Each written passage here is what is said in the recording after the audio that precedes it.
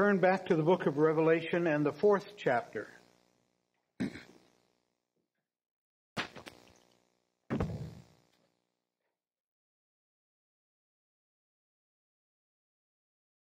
We're going to read from chapter 4, verse 2 through all of chapter 5. Now, sometimes it's a preacher's ploy. If he doesn't have anything to say, he just reads a long passage of Scripture. That's not the case here. Immediately, John says, I was in the Spirit, and behold, a throne set in heaven, and one who sat on the throne. And he who sat there was like a jasper and a sardius stone in appearance. And there was a rainbow around the throne in appearance like an emerald. Around the throne were 24 thrones, and on the thrones I saw 24 elders sitting, clothed in white robes, and they had crowns of gold on their heads. And from the throne proceeded lightnings, thunderings, and voices. Seven lamps of fire were burning before the throne, which are the seven spirits of God. Before the throne there was a sea of glass like crystal. And in the midst of the throne and around the throne were four living creatures full of eyes in front and in back. The first living creature was like a lion. The second living creature like a calf. The third living creature had a face like a man, and the fourth living creature was like a flying eagle. The four living creatures, each having six wings, were full of eyes around and within, and they do not rest day or night, saying, Holy, holy, holy, Lord God Almighty, who was and is and is to come. Whenever the living creatures give glory and honor and thanks to him who sits on the throne, who lives forever and ever. The 24 elders fall down before him who sits on the throne and worship him who lives forever and ever and cast their crowns before the throne saying, You are worthy, O Lord, to receive glory and honor and power. For you created all things and by your will they exist and were created. And I saw in the right hand of him who sat on the throne a scroll written inside and on the back sealed with seven seals. then I saw a strong angel proclaiming with a loud voice, Who is worthy to open the scroll and to loose its seals? And no one in heaven or on the earth or under the earth was able to open the scroll or to look at it. So I wept much because no one was found worthy to open and read the scroll or to look at it. But one of the elders said to me, Do not weep. Behold, the lion of the tribe of Judah, the root of David, has prevailed to open the scroll and to loose its seven seals.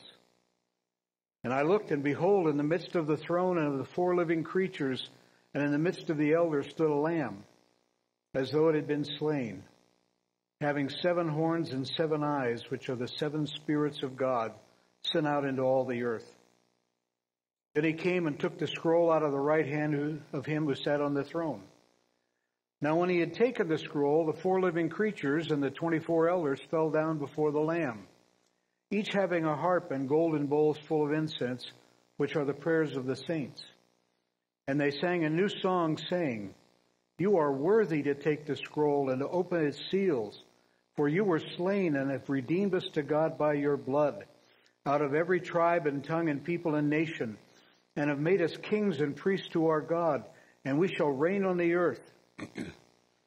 then I looked and I heard the voice of many angels around the throne, the living creatures and the elders, and the number of them was 10,000 times 10,000 and thousands of thousands, saying with a loud voice, Worthy is the Lamb who was slain to receive power and riches and wisdom and strength and honor and glory and blessing.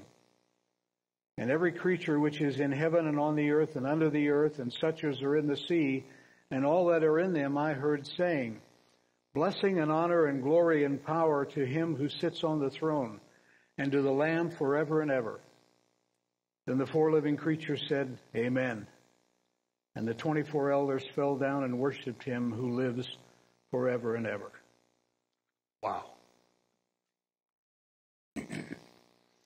I've tried to show so far that worship is the ultimate priority it was the primary concern of God. It was the primary concern of Christ. It is the first response of the regenerate heart. It's the essence of the gospel message. It's the chief inhabitants of the inhabit, uh, chief work of the inhabitants of heaven. It's the reason for God's anger, the absence of it. and it's the essence of man's relationship to God. But then the question naturally arises, why should we worship God? Well, I think the scripture gives us three reasons. First of all, did you catch the word that permeated the entire passage we just read? Did one word stick out? Worthy. He's worth it. He's worthy of it. So, first, we worship God because of who He is. In Scripture, God is always and only the reason for everything that God does. It is simply enough that He is who He is. That's all the reason He gives. in Exodus 20, when God lays down His moral law, He begins in verse 1 I am the Lord your God. And then He gives a command. And while the word itself is not there, I believe it strongly implied the word therefore. I am the Lord your God, therefore you shall not do this. From Exodus 20 verses 2 to, through chapter 29 verse 46. All the reason given for each of the laws that are laid down is found in these words. For I am the Lord your God. In Leviticus chapter 1, verse 1, God starts with laws. But there's no reason given for any of them in chapter 11 when he says, For I am the Lord your God. Consecrate yourselves therefore. There it is again. That's all the reason we get. Because he is the Lord our God. God is always the reason for everything that God asks. Leviticus 18:1 I am the Lord your God. You shall not do what was done in Egypt. Keep my statutes. I am the Lord your God. Leviticus chapter 19 verse 1. You shall be holy. How come? For I, the Lord your God, am holy. And that's repeated many times throughout that chapter. In nearly every single verse, at the end of each command, God gives himself as the reason for what he commands of us. So I conclude that we're to worship God because he is the Lord our God. When I was young, I'm one of five boys. when I was young, my mother took ill. You can imagine after having five boys, that would do it. and she had to spend a fair amount of time in the hospital. Well, my dad was already working two jobs. One as a state policeman, and then he'd come home, clean up, and go drive trucks for the gravel yard. So he was working 16 hours a day. So he obviously didn't have time to run a household. So my older brother Dan and I were the only ones old enough to do anything. The other three were kids. So my dad calls us over. He says, All right, this is the only way this is going to work. Now, we lived on a small dairy farm. Dan, you're in charge of the outside of the house. Now, this is in the late 1950s. You get the cow's milk. You get the milk out to the street for the dairy to pick up. You change the irrigation pipes. You feed the chickens and the hogs.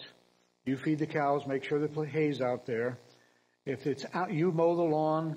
If it's outside the house, Dan, you do it. Okay, Pop? And he looked at me. He says, Everything inside the house is you. What? You get up, you make breakfast for everybody, you get your brothers ready for school, get them on the bus, you wash the dishes, you clean the, you cook all the meals, you uh, vacuum, you mop, you do the laundry, fold the clothes, put them away. Wait, wait, wait, wait, wait. How come I got to do all the woman's stuff? Remember this is the 50s. And my dad, Dirty Harry hadn't been invented yet, but my dad was Dirty Harry. and he was a cop. And he was a German. And he was 6'2", 190 pound German cop. And he leans over to me like this, He grits his teeth because I said so. Boy, Pop, I can't argue with logic like that. You have convinced me by evident and sound reasoning of what I should do. I have to tell you this story. One of my dad's favorite things was Friday night to come home to a chocolate layer cake. That was back in the days when they had round pans with that thing that would go around and undo it from the bottom, and then you put it in. well, he comes home one day for, after work on Friday. Says, "You got my cake?" And I said, "Yeah." I put it out there. It was the height of two pancakes. Both layers took up about a quarter inch. He says, "What in the world is that?" I said, "It's a chocolate layer cake." Well, it certainly isn't like the kind your mother makes. What did you do wrong? I followed the directions on the box. Well, you did something wrong. Don't do it again. Well, next week he came back, and there it was again. And the third week he came back early and saw me eating the batter. he got all that was left.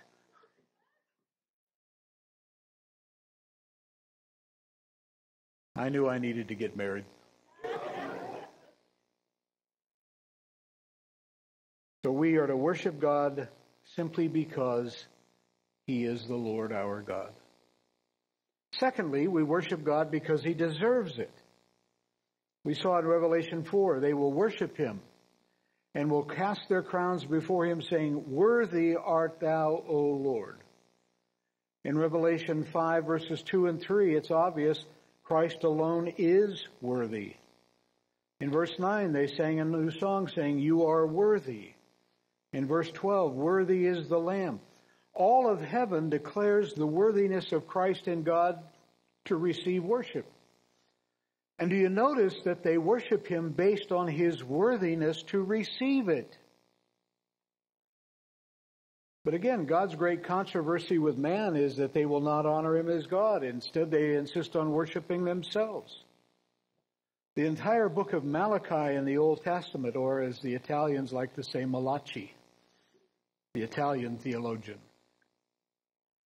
The entire book of Malachi is about worship, but God is not pleased with what they offer him. In Malachi 1:14, I am a great king. Where is my honor? Where's my respect? And then he says, Go offer this to your governor and see if he'll take it from you.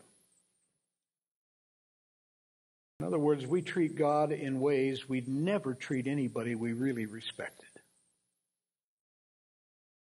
Now, the word for worship is a combination of two old English words, worth, sipe. Literally, reverence tendered based on the worthiness of the person to whom it is given.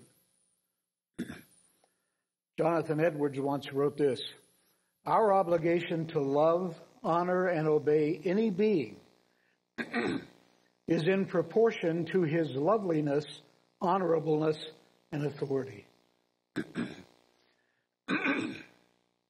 what other conclusion can we draw then but that we are under infinite obligation to love, honor, and obey God since he is infinitely lovely, infinite has infinite honor, and has infinite authority. We are infinitely obliged to worship God. We are under greater or lesser obligations to anyone based on their position and the respect or reverence their position demands and deserves. Even if you can't respect the person, we are to respect their position. Even in our own culture, a judge walks into a courtroom, all rise, or they do that at Yankee Stadium when Aaron Judge comes up to bat. And to not do so in a courtroom is considered as contempt. When the president walks into the press room for a news conference, the reporters stand up out of respect or deference for the office of president, even if not for the man himself. It's interesting to me that in scripture, whenever the word of God is read, the people stand out of respect for the Bible. And with that in mind, you can see why God asked the question in Malachi, If I am a king, where is my honor? Now, since worship is based on God's worthiness to receive it, we have to ask this question How worthy is God? How much is he worth? According to Nehemiah 9 5, God is above all blessing and praise. According to Isaiah 57, God is, God is the high and exalted one who lives forever. So if God is high and exalted, and our worship of Him is not, we refute the very scripture we've come here to have teach us. Some churches are called high church, and they have a very formal liturgy. Every church has a liturgy. It's just whether it's high church or low church. And the reason for the formal liturgy is not because they have a love for formality, but a love and respect for the high and lofty one who inhabits heaven. How then could we ever treat the worship of the King of heaven and earth as something casual or something commonplace? How could we ever treat God as someone on the same level as ourselves? Psalm 113 verse 4, God is high above all nations. His glory is above the heavens. So we should also ask, how great is God? because the greater He is, the greater must be our worship. The more worthy He is, the more our worship should reflect His worth. Listen to 1 Kings chapter 8 verses 10 and 11.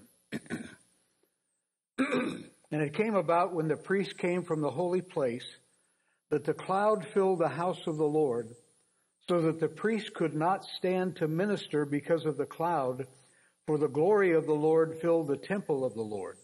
How's that for a worship service? Wouldn't you just love to be part of that kind of worship? Where the priest couldn't even stand to minister because there was no need, because the glory of the Lord filled the house of the Lord. You say, ah, that's Old Testament. Yeah, we only believe in the 27 books of the New. We just do away with the old, right? Wrong. It's not unique just to Old Testament worship. Listen to Revelation 15:8. And the temple was filled with smoke from the glory of the Lord and from his power. And again, you know the imagery of Isaiah 6. I saw the Lord sitting on the throne, lofty and exalted, with the train of his robe filling the temple. when Isaiah saw the Lord, when Isaiah worshiped in the presence of God, he saw the Lord. He didn't see his own problems. He didn't see his physical infirmities. He didn't focus on his so-called needs. He saw the Lord. We need Isaiah's vision of God's glory in our worship.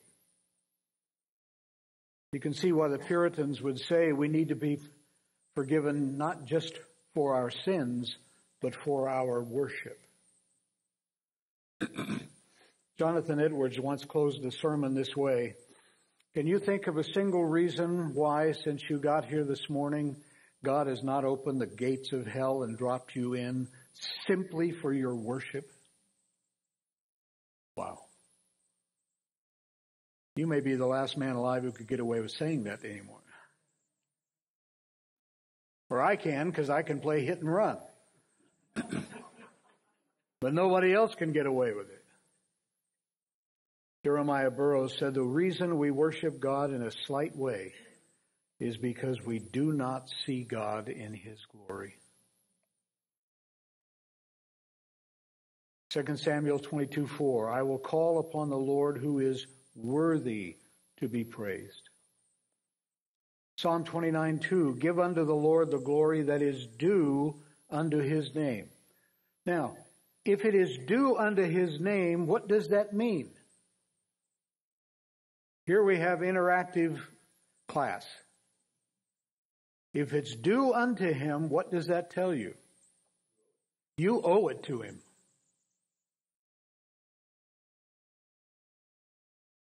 It means he has a right to it. And if he has a right to something, we have an obligation to give it to him. so if God deserves our worship, how much of our attention does he deserve in his worship? How much of our concentration does he deserve? Well, these are questions you don't have to answer because the Bible does. Psalm 103 verse 1. Bless the Lord, O my soul, and let what? All that is within me bless his holy name. Or Matthew 22 verse 37. You shall love the Lord your God with all your heart and with all your soul and with all your mind and with all your strength. When was the last time you left a worship service exhausted? Both mentally and physically because you had everything, you gave God everything you had to give in worship. The story told of Martin Luther when he was in seminary studying for the priesthood, he engaged in what so many, many seminarians do. Today we call it a bull session. Basically, it's where a bunch of folks sit around and give their opinions about something. Sounds to me like most modern Bible studies. What do you think the verse means, Fred? I don't give a rip what Fred thinks the verse means. What does God think it means? well, this particular session was about what was the greatest sin. So the question was asked, what's the greatest sin? And they're sitting in a semicircle and one young student suggested that murder was the greatest sin since man is created in the image and likeness of God. And to take a life was to mar God's image. And another seminarian said, well, adultery would have to be the greatest sin since it's a breaking of a covenant between man and God. And so each individual, as they went around the table, gave his opinion about what constituted the greatest sin. And then they got to Luther. Do any of you know what Luther was going to be before he went into the ministry? Was going to be a lawyer. There's strikes one, two, and three. Like we need another obnoxious guy in the ministry. Luther thought like a lawyer. So when the question was posed to him as what was the greatest sin, he answered in this way. Well, if the greatest commandment is to love God with all our heart, soul, mind, and strength, then it stands to reason the greatest transgression of that commandment would be to love him with anything less than all. If that's a reasonable criteria, how guilty are all of us for committing the greatest of all sins in our so-called worship? Stephen Charnock said, the first ground of the worship we render to God is the infinite excellency of his nature. Therefore, worship ought to be suitable to the nature of God. Now think about that for a moment. Worship ought to be suitable to the object of our worship, not the worshiper, the worshipee. I want us to see something else about the nature of worship. The verse in Psalm 29, 2, give unto the Lord the glory that's due unto his name. Three times in that verse, the essence of worship is said to be giving something to the Lord, not getting something from the Lord. Give unto the Lord, give unto the Lord glory and strength, give to the Lord the, the glory that is due unto his name. Worship is therefore not what you get out of a service, but what you give to God in the service. And that happens when you give the Lord what he's due, what he is worthy to receive from you. So here's a radical idea. Worship isn't what you get, it's what you give. I told you that story about the young student. I didn't get anything out of it. The only consideration we need to have after a worship service is this one. Did I give unto the Lord the glory due unto his name today? Was what I offered worthy of him? Was he pleased with my offering of praise? Was my worship suitable to his majesty? Did I adore him as a king ought to be adored? I get to do a fair amount of traveling, most of it out of the country. My dad says, yeah, people ask you to preach if you promise to leave the country. You wonder why I have a tick. All that positive affirmation. When I go to other countries, I'll be going to uh, Medellin, Colombia in four weeks. And I preach there at a Reformed Baptist church in the city. There's about 600 people that attend there. I love the music. Now, I know the tunes, I don't know the Spanish words. but these people sing as if they're afraid that everybody in the city of Medellin, which is three million people, might not hear them. And again, they, they go this way. It says make a joyful noise.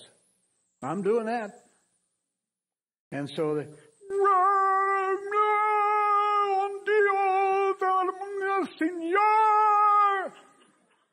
and then I come back to America and people in churches here sing like they're afraid the guy next to them might hear them.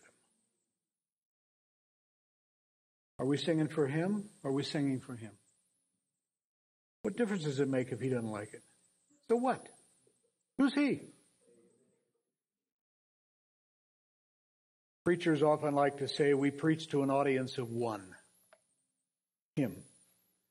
You in congregations need to sing to an audience of one. Him. Says make a joyful noise. It doesn't say you gotta be on tune. I can't carry a tune in a bucket. There aren't any buckets here. Shut up and sing.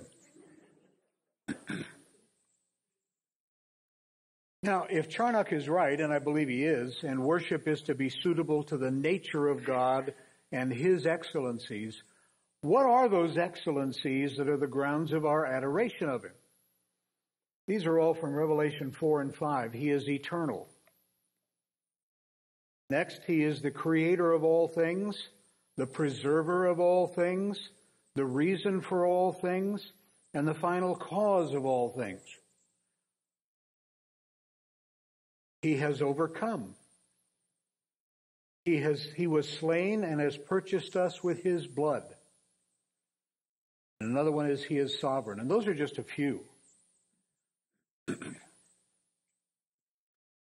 Again, to quote Charnock, the more we grow in a sense of God's holiness, the more we shall advance in the true performance of all our duties. Our reverence to God in all our addresses to Him will increase if every act of duty is ushered in and seasoned with thoughts of God sitting on a throne of holiness. We shall have a more becoming sense of our own vileness, a greater ardor to His service, a deeper respect in His presence, if our understanding is possessed with notions of this. So that's the first reason. Why do we worship God? Because He's worthy of it. He's, he deserves it. The second, uh, the third reason is that we're to worship God because He demands it. He deserves it. He demands it.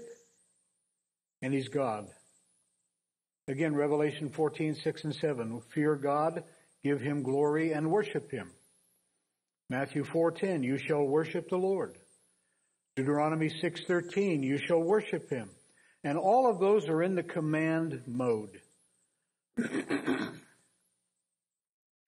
William Beveridge, if I know anything of God and of that service and honor that is due unto him, we who live and move and have our being in him ought to be possessed with such a fear and uh, awe and dread, such a fear and reverence of him, as not to dare to carry ourselves irreverently or unseemly in his presence.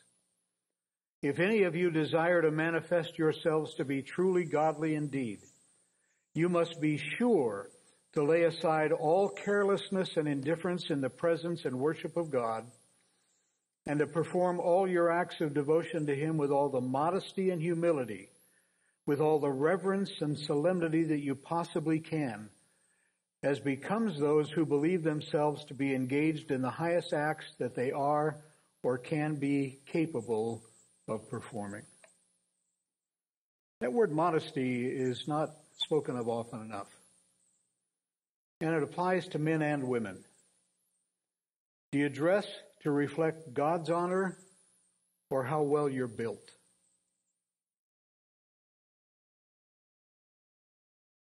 So what's the response of heaven to God? Revelation 5:14 and the four living creatures kept saying amen and the elders fall down and worship. So the the only response to true worship is more worship. And we should always strive to make it better worship. So why do we meet on Sundays? The worship service is your opportunity on a weekly basis to show God how much you think He's worth. That's a rhetorical question here. If you were God, how much would you think you're worth based on how you worshiped Him last Sunday? There is a choral anthem that is my favorite. I, I love choir music, and particularly choral anthems. Uh, you all should have a sheet of paper with the words to this one on it. Is that correct? This was written by a young girl when she was 19 years old. She's still alive. She lives in Dallas, Texas.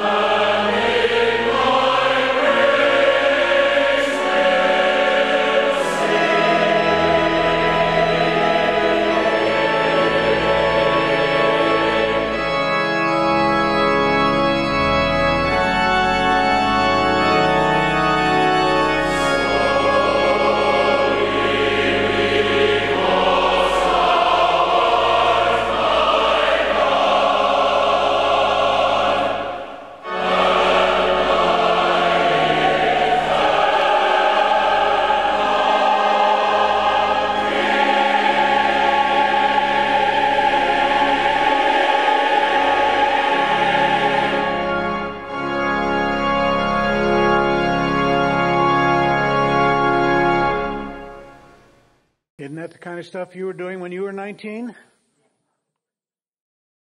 Why should we worship God? Because He's our God.